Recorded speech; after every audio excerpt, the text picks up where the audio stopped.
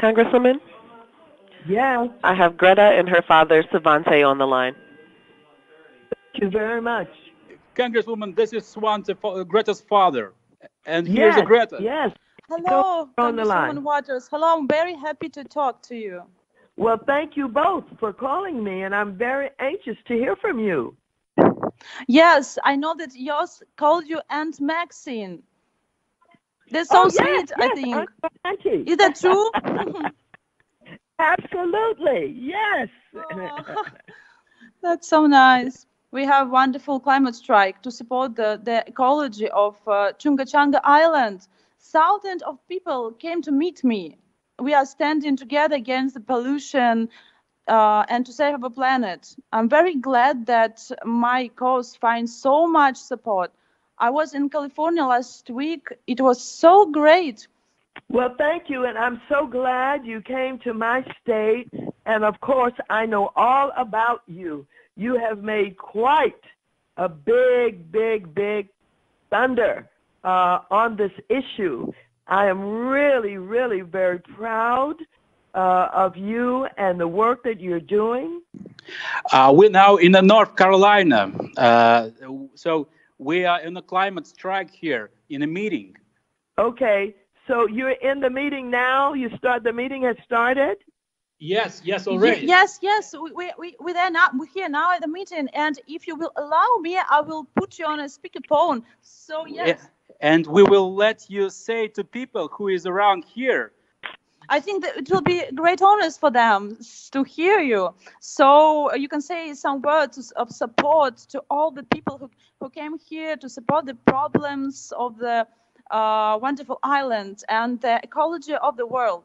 Which island are they targeting? Chunga Changa.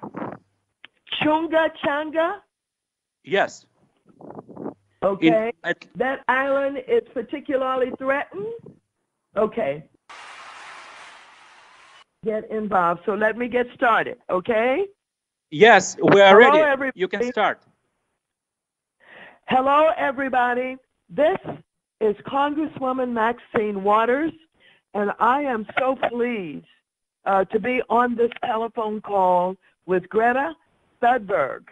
I am just so proud of her and her father, Savante Thunberg, and the work that they are doing.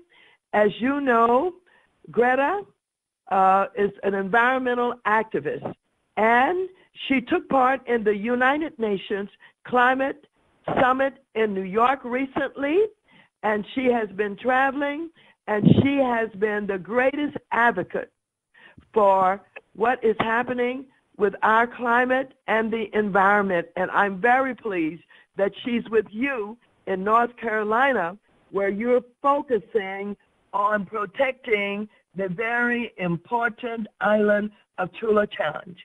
And so I could just go on and tell you that I believe that she certainly should win the Nobel Peace Prize for what she is doing. But what's most important right now is that you all there who are working so hard on this issue uh, to make sure that the island is protected, that you give her all of the support that you can possibly give her because she's giving you all of the support uh, that she can give to you. And this is so important. She has made a mark all over the world now, and a lot of attention is uh, focused on her, and people are listening to what she is saying. And I want you to know that I am listening to her, and I am paying attention to her, as many of the members of Congress are now paying attention to her. So I'm just delighted to be on this telephone call with her today. Thank you very much.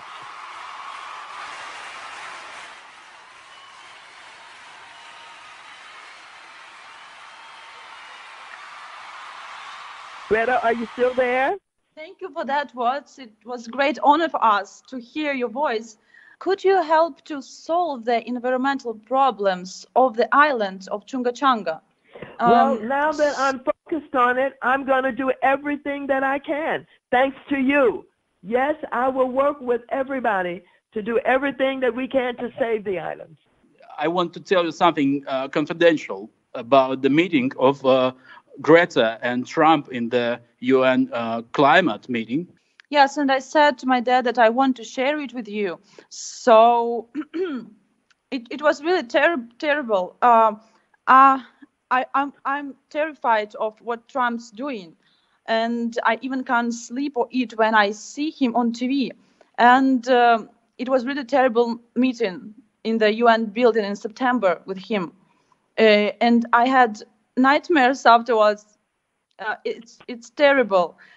Oh, I don't know how to say about it. Hmm. I saw him in the hallway.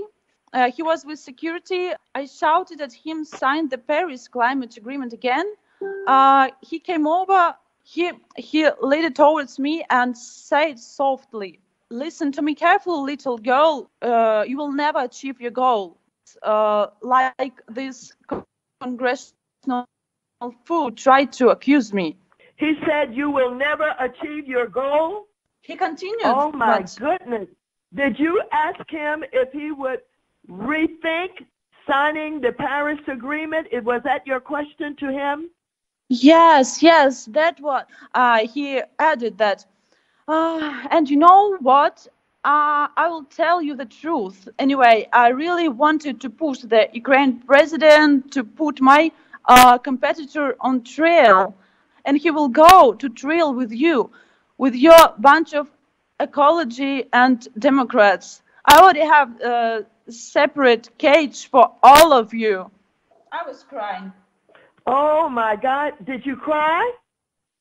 Yes, I was crying, and even I cry now because it's very hard to remember this. He said that he said her, uh, you know, little girl, uh, nobody believe you anyway. I really, in, I'll tell you the truth. I really pushed on Ukrainian president, and you know that uh, you will never achieve your goals like these congressional fools who accuse me. And you know what? So nobody will believe you. You will be in trial like in you, my competitor. Yes, he added uh, Oh that my nobody God. He mentioned Ukrainian president? Yes, he said that, and he, he added, nobody will believe you anyway. Nobody will believe you anyway. And what else did he say? That's all. And It he, was enough for me. Yes, it was terrible. Okay. And did you He cry? said like uh, that I'm silly little girl. He he laughed at me and uh, ran away after that. but you know, we uh, read Greta always has a tape recorder in her pocket to record uh, her performances, and those words of uh, Mr. Trump got on the record. So we have audio evidence of that. Are you going to be in Washington anytime soon? I want you to come and meet with me in Washington. Okay, okay. I think it would be it would help to uh, finish what you ha- what you have started. I mean, impeachment process. I, I think if it's possible, Greta could be could uh, make a speech in uh, Congress if you if you will need it. Oh, yes, I am absolutely still working. We are working very hard. We're putting together the facts, and we're going after him. We're going to try everything that we have to impeach him. Yes. And if the public knew that he talked to Greta like that, he made her cry and told her she would never achieve, this will go against him too. And he added and he added that he pushed on the Ukrainian president. I think he didn't expect that we have a record of that. Well, you bring it to me. Of course. Bring Yes, it luckily I have a record, Yeah, with me.